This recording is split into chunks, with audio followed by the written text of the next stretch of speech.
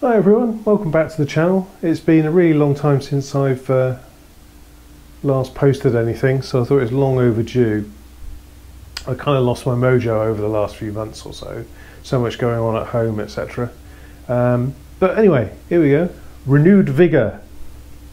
Yeah, I'm trying to convince myself, okay? So, um, today's job is I've had a massive clear out. Um, we got rid of a load of furniture next door, so I've got some space. So now I can finally get access to this area, and I plan on fitting uh, the pipe work for one of the radiators. Obviously, once I've done all the first fix plumbing, I can then get on and do the plasterboarding and what have you in here. But everything has a knock-on effect, so I've not been able to move on with doing any of the plasterboarding or the insulating because obviously I haven't finished the first fix plumbing. So to do that, um, I need to set out all the spacing and everything for the pipes and what have you. So that was all subject to buying a radiator. So finally got that, and I'm going to start installing that today. Um, I have zero experience installing radiators. The only ones I've fitted before are the chrome towel radiator types, and they're sort of reasonably straightforward. Um, with a standard radiator, it's a little bit more complex because you've got the tails at the end. So, um, in fact, the first radiator that I bought turned out to be too wide, but I'm going to reuse that elsewhere. So I bought a slightly narrower one, which will then fit in this gap. Um, this gap being that the pipe work can't be any wider than this point here. Um, but the radiator is actually fitting on the other side, but all the first fix plumbing is going to be on this side of the wall. So I'll take you next door now and I'll, um, I'll show you how I plan on setting out all the pipe work. So all I've done here is I've put my laser level on the floor and then just packed it up just uh, using an offcut of plasterboard and in the end I added to it a notepad and that's given me the 150 mil desired height that I want that is now projected on this wall Sorry about the flickering, it's picking up the LED light at the moment. So I'm just going to measure between finished wall that size, so I'll put a piece of plasterboard in and across to here. And for ease, I'm just going to use inches because it's just easier to work with bigger numbers like that. So that's 46 inches, so half of that's 23 inches go back next door. So I'm going to now do my 23 inches, which is this point here. Pretty much as a straight edge now.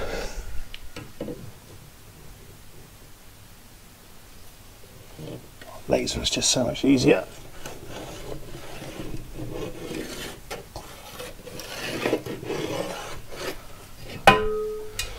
Here's my radiator. And I've fitted the um, the tails and the valves. And now I can actually measure the exact distance between the centres of the pipes which is conveniently 900 millimeters exactly. So even with my terrible arithmetic I can work that out at 450 so using the centre line on the wall next door, I can go 450 mil either side, and that should be correct for these tails. And then what did I say? 900 mil overall, so 450. So I always work off the 100 mil line, so 550.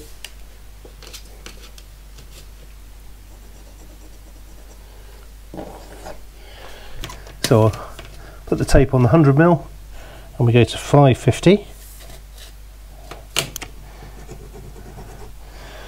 Put a little circle around it. Remove any ambiguity.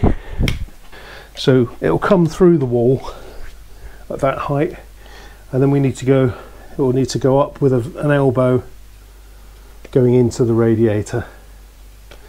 So the actual radiator will sit about another 50 mil higher than that. So the bottom, bottom of the radiator is going to sit about 200 mil high, which is quite high I found with the radiators upstairs sat quite low, they tend to get in the way a little bit, so I'm going to put them up a little bit higher, and then that um, makes it easier to like clean the skirting boards, etc.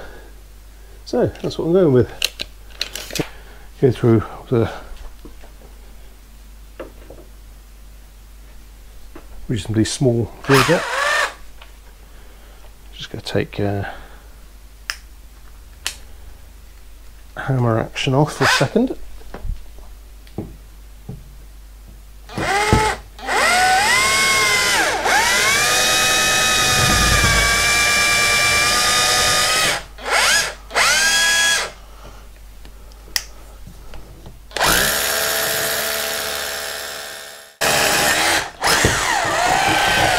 there we go. See the trick is, and I see a lot of people making this mistake that, that giving it loads of welly, trying to force the drill bit through. And the trick is, um, is to let the drill do the work.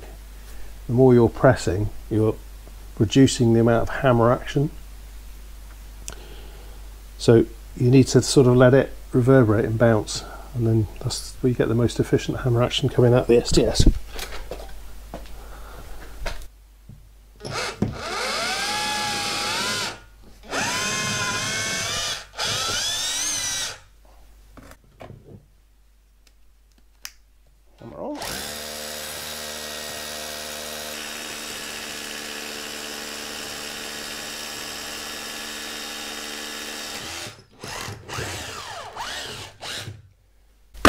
Beautiful. Moment of truth.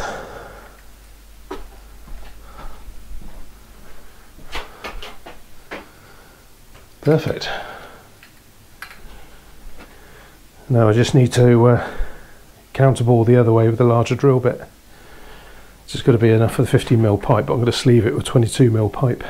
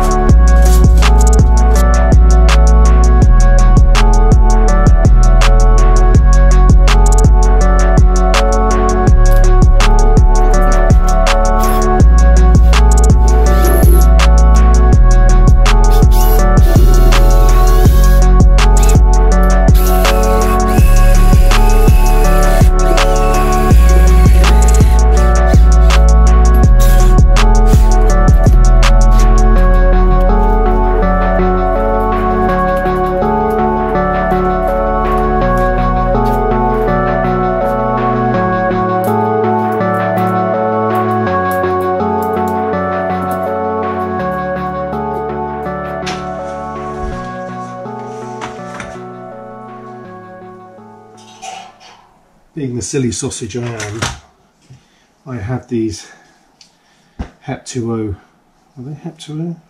No, they're not Hep2O. Rothenberger snips I used to use for Hep2O. But now I've sort of convert and gone over to this Tectite. I treated myself to a Tectite cutter. What I didn't realise is um, these Rothenbergers cut through the Tectite quite happily. So I've been basically spent all that time messing around trying to cut it with hacksaws and then deburring and everything else as well. I was just going to use the existing Rothenberg Rothenberger cutters already I had, which is very annoying. But let's give these a try now. I've spent 40 odd quid on them. Oh, yeah, they are. They are nice. Yeah, probably can't tell. They're using the Rothenberger ones. It's very, very difficult to um, get an accurate square cut. But those, because of the guide, it's much wider. It keeps it truer. So that's a lovely square cut. So maybe I didn't waste that money after all. An investment, definitely an investment.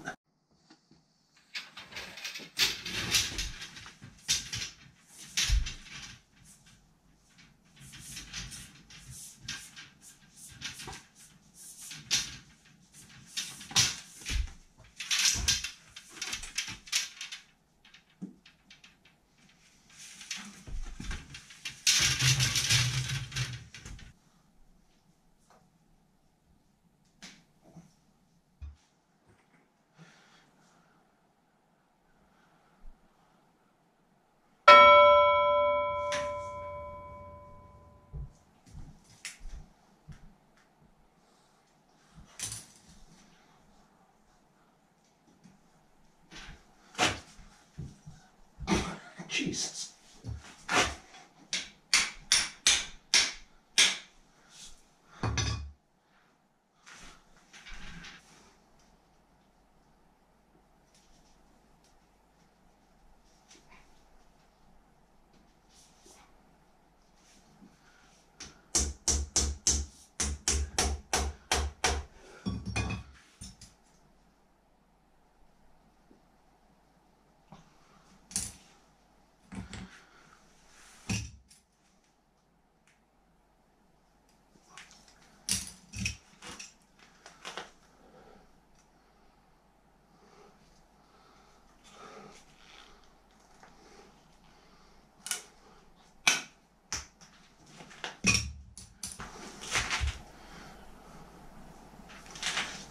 Going to going to use that as my marking tool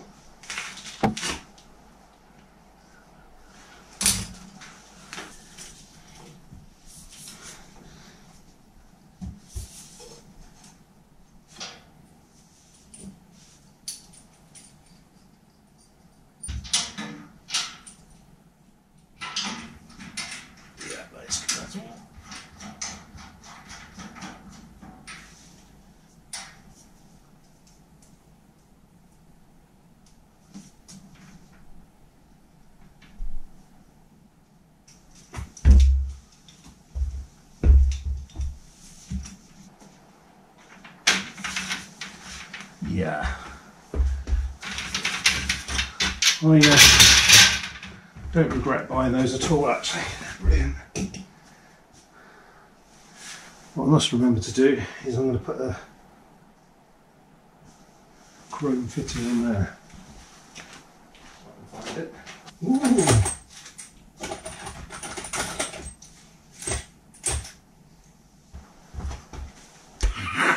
What I just found in a box of goodies. Perfect.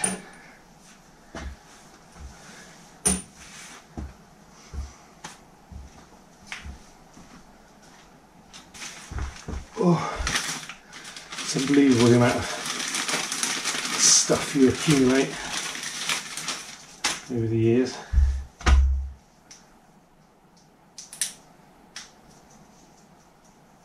But these are crazy good. Make any sloppy work like mine look great.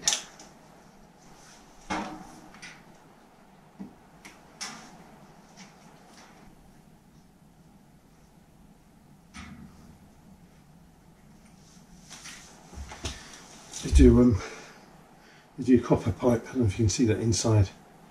It's copper but with a chrome finish. I use this quite a lot. It's nice.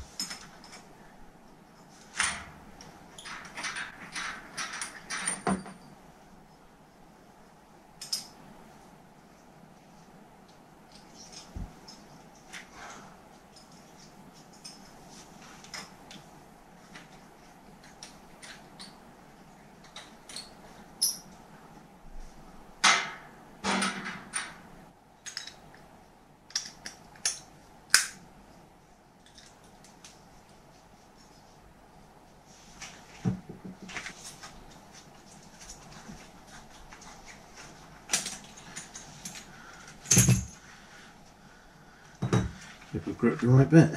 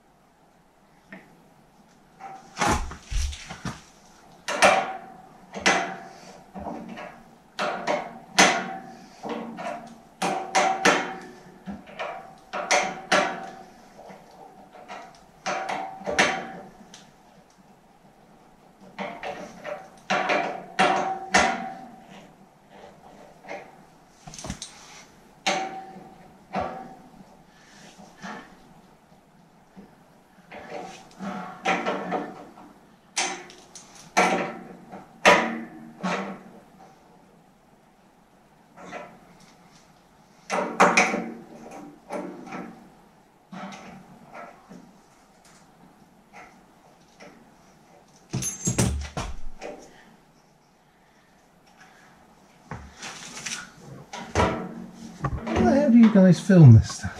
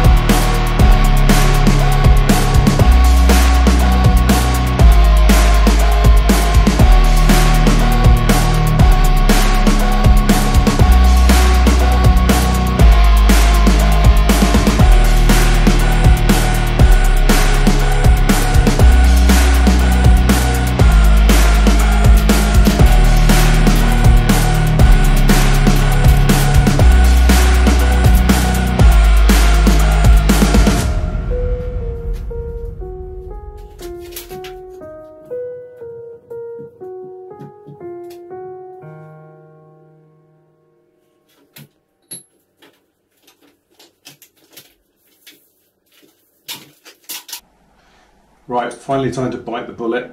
I'm going to drain the system down now. Um, off camera, I've basically gone around the house and turned off all the radiators on both sides. That way, that it will maintain uh, the water that's already in those radiators because it's got inhibitor in there, so I don't want to waste that. So I've done that, and now I'll use the drain off point and the length of hose. I'll uh, start draining down the system. Hopefully this will work because I've had problems with this in the past.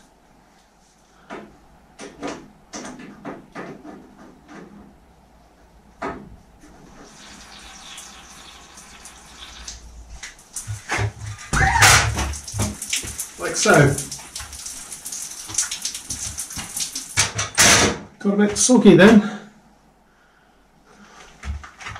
I've had problems with this in the past.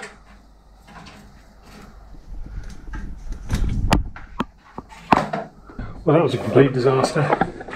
The uh, drain off point there is not working. There is another one here,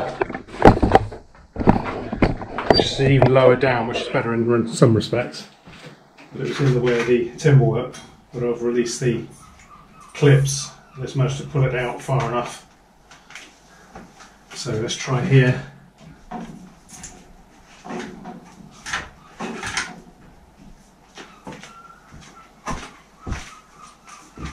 Fingers crossed.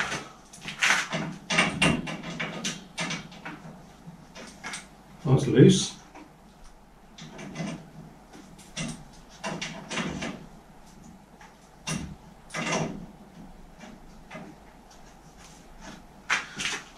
See if anything's going out. Not a sausage. So, come up to the upstairs bathroom.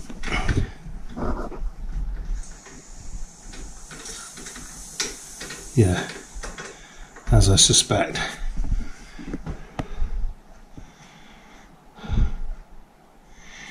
I think it was um, airlocking. Drain off points failed.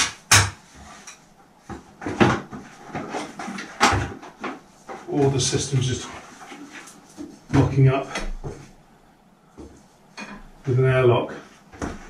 So, wish me luck.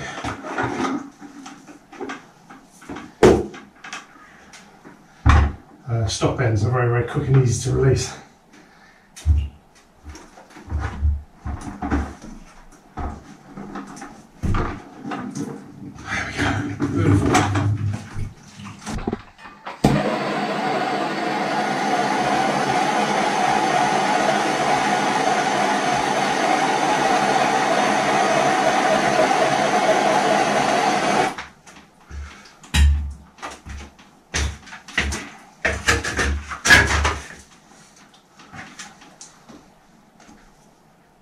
That did the trick.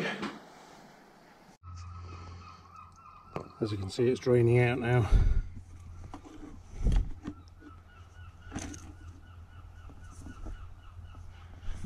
Not very quickly, but it is draining.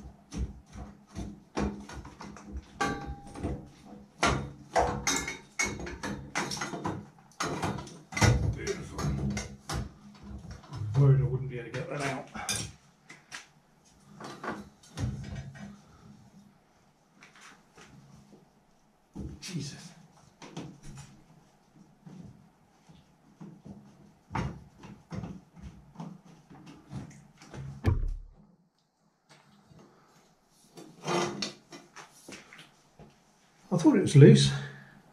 Look, Olive's not even gripping. That was to the boiler. oh well, that's made my life a lot easier, isn't it? So what I want to do is just take a little bit off there to bring it out further from further from the wall. Do we use the pipe slice or is that going to chew it up?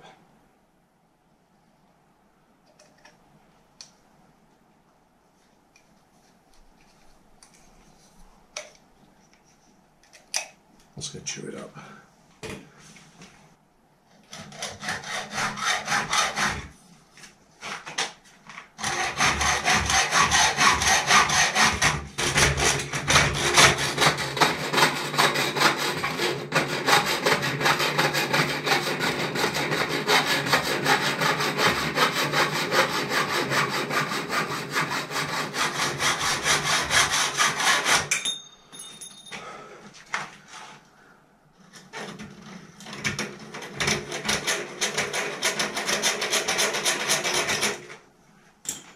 Nice.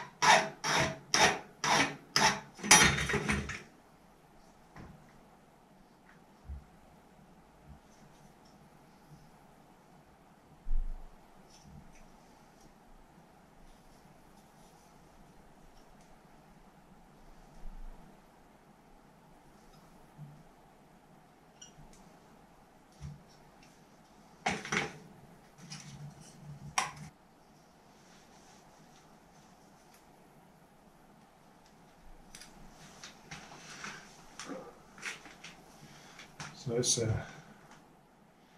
22, 22, 15.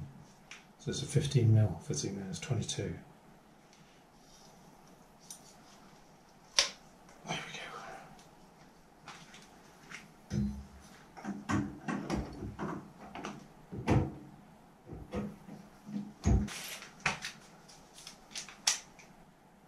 Sixty-two mil. Sixty-two.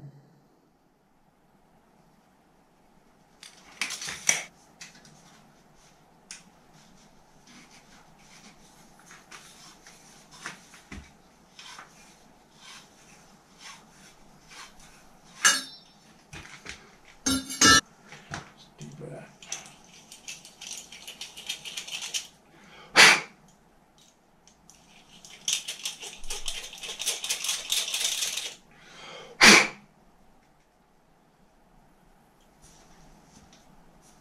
No need do the other side because it actually creates a chamfer when it's cutting.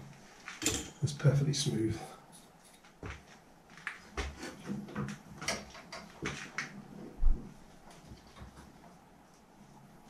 Cool.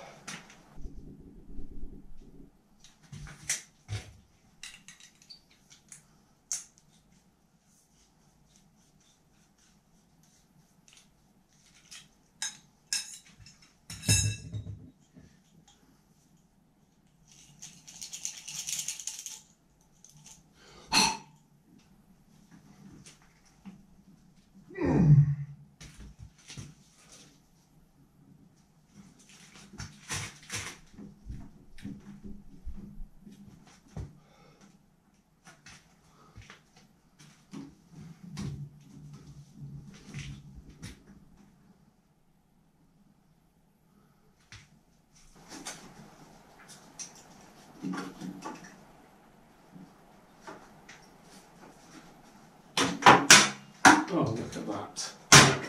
Beautiful. See the difference in cut. Hacksaw, slice. Nice and square. No sharp edges. Perfect.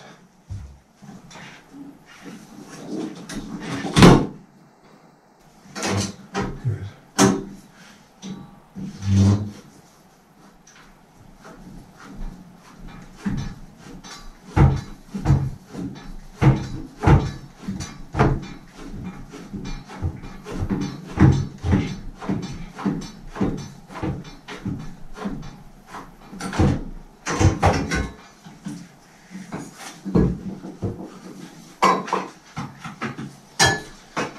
Oh, this abomination.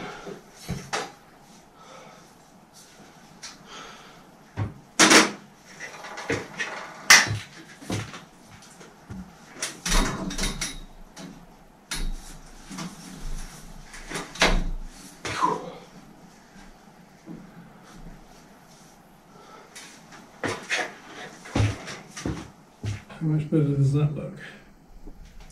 Across there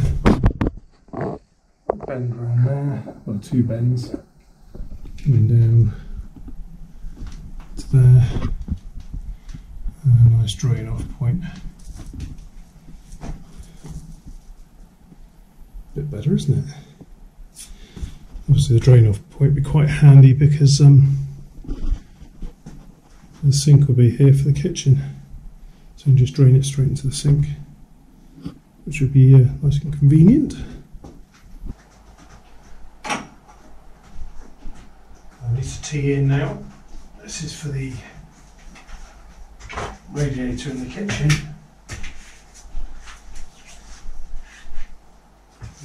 Remembering to allow for the um, insert time.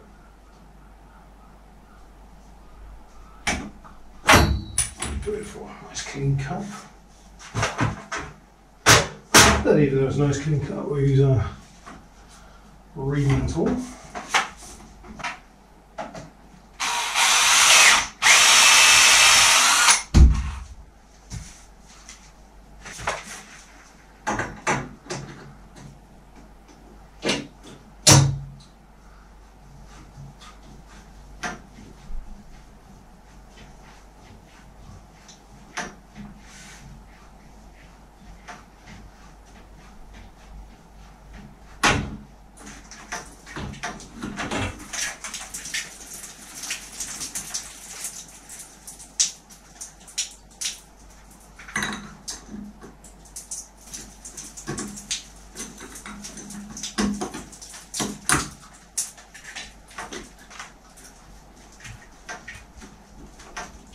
Ew. it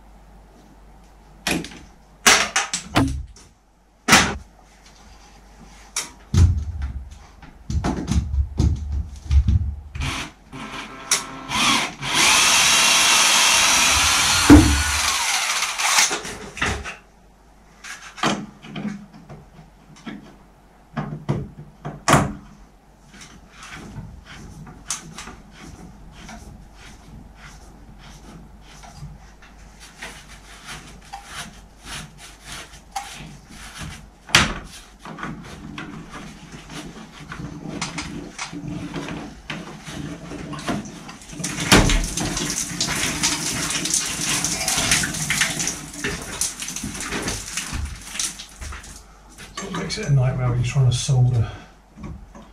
Because you can be uh, spend forever trying to heat the pipe up and thinking, why is it not flowing? Why is it not flowing? Why is it not soldering? Yeah. So, to realise that there's water in the pipe. And the heat draws the water along the pipe.